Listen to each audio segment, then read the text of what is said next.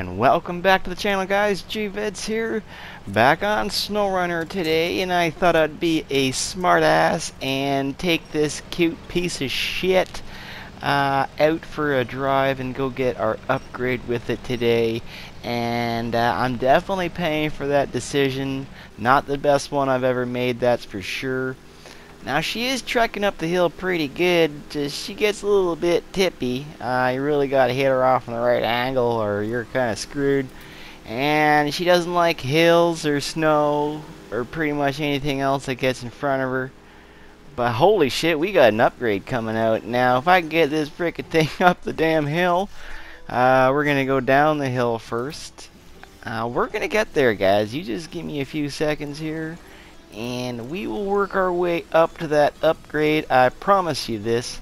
Right now we will find out what we got going on here as soon as I get my grounds.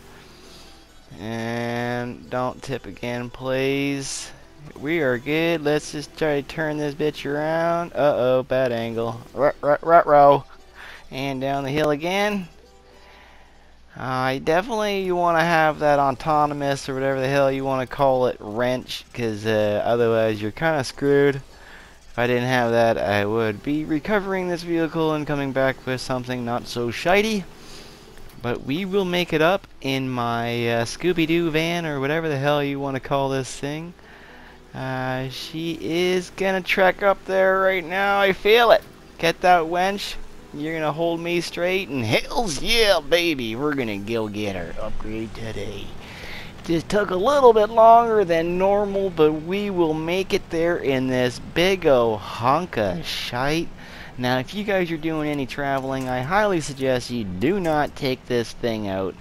I don't remember what it is called. I think it's like LO4F or LOLF or LOL4F or just LOL piece of shite.